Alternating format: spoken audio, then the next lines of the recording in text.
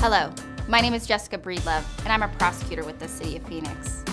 Today I'm here to talk to you about the City of Phoenix amended lobbying ordinance that's effective July 1st, 2017. Before I begin, this is not legal advice. Nothing takes the place of reading the ordinance yourself to completely understand all of the changes. After watching this, please take a moment to read the new law in its entirety because the obligations rest solely on the lobbyist. All right, I'm going to walk you through a brief overview of some of the substantive changes to the lobbying ordinance. While there are many changes throughout the ordinance, I'd like to draw your attention to four areas. Some definition changes, filing date changes, new disclosure requirement, and some violation sections. First, definition changes. There is now a new definition for compensation.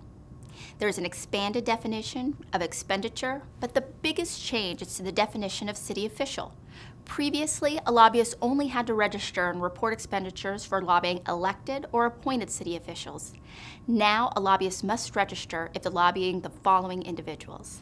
City Council, the Mayor, anyone serving in the administrative office of City Council or the Mayor, anyone serving an appointment to a City of Phoenix board, commission, or committee, the executive staff, meaning the city manager or deputies, and all department heads or functioning department heads. A lobbyist still has five days to register after initially lobbying at the City of Phoenix. Second, filing dates have changed. Previously, expenditure reports were due the last day of each quarter. They're now due April 15th, July 15th, October 15th, and January 15th. And the new annual registration date is January 15th of each year. We are really excited here at the city because beginning in 2018, we'll be introducing our new electronic registration process. And with that, we'll be asking you to provide a unique email address to receive notifications electronically. The third big change I wanted to touch upon is our new disclosure requirement, located in City of Phoenix Code 2-1001.01. It requires that when a lobbyist communicates with any city official in the lobbyist capacity as a lobbyist, that must be disclosed to the city official. Now, those of you who lobby at the state level are most likely familiar with this requirement because it's required at the state level as well. Finally, our last topic is violations.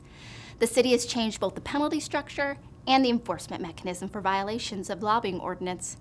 If the city clerk is made aware of a possible violation of the lobbying ordinance, the first thing that will happen is a cure letter will go out asking the lobbyist to cure the violation within 15 days. If the violation is cured within the 15 days, then no further action is taken. However, if the notice violation has not been cured on the 15th day by 5 p.m., then the information is forwarded to either the Ethics Commission or the City Attorney's Office in the alternative for investigation. If a lobbyist is found to be in violation of the ordinance, the following progressive penalty structure is in place. A first violation is a civil offense with a mandatory minimum fine of $1,000 per violation and a required suspension from lobbying at the city for three months. A second violation within 84 months is still a civil offense, but with a mandatory minimum fine of $2,000 per violation and a required suspension from lobbying at the city for 180 days.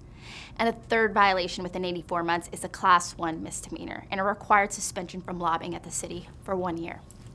So keep a lookout for our updated lobbying handbook and updated frequently asked questions on the city clerk's webpage. Thank you so much for taking a moment to learn about some of the important changes to our lobbying ordinance effective July 1st, 2017. Have a great day.